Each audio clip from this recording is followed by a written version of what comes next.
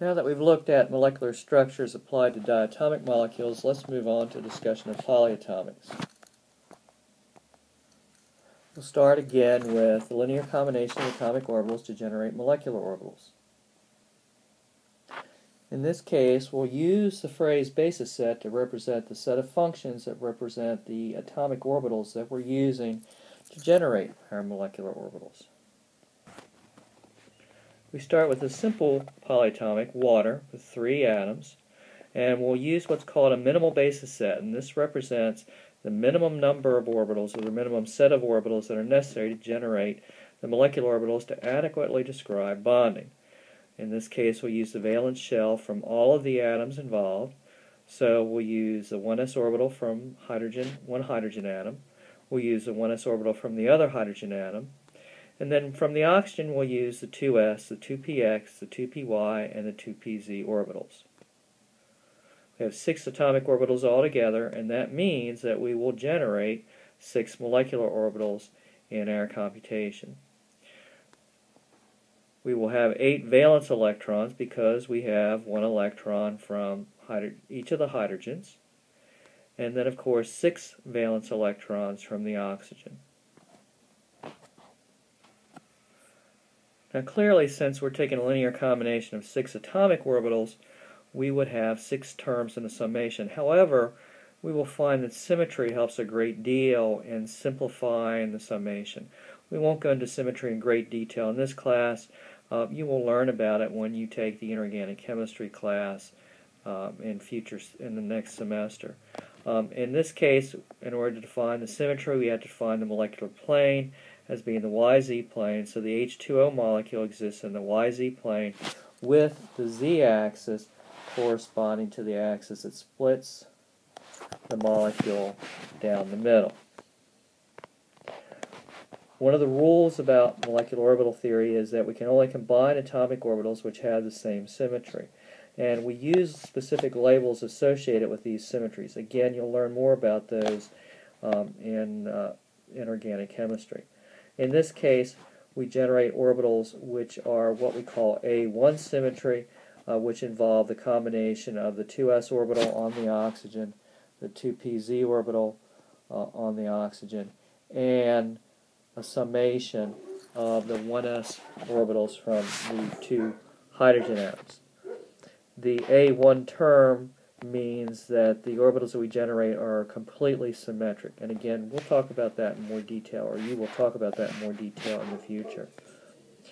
Um, there is also a B2 um, symmetry, which corresponds again, in this case, to the 2py orbital, um, which you'll notice, of course, is the orbital oriented along the y-axis here.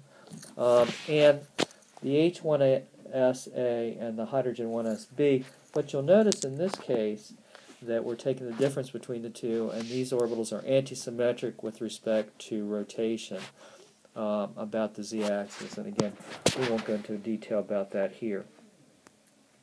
The final orbital uh, will be the B1 orbital, which is just the, the oxygen, the 2px orbital on the oxygen, the x-axis being, of course, perpendicular to the plane of the molecule.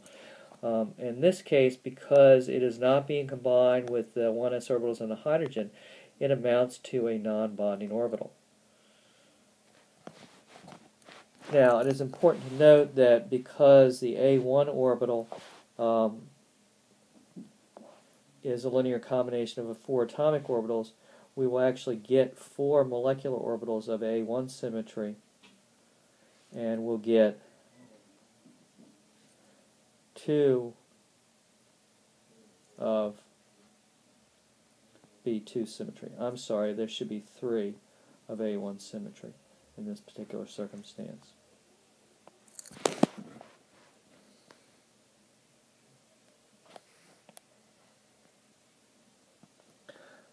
Again, the reason for the three of A1 symmetry is something that we won't go into um, at this point. Now here's a molecular orbital diagram that shows the combination of these atomic orbitals um, to generate the molecular orbitals.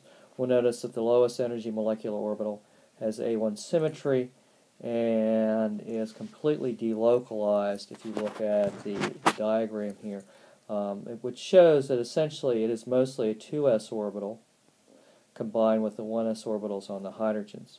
Um, the next A1 orbital is this orbital right here, which shows that we have a 2pz orbital combined mostly with the 1s orbitals on the hydrogens.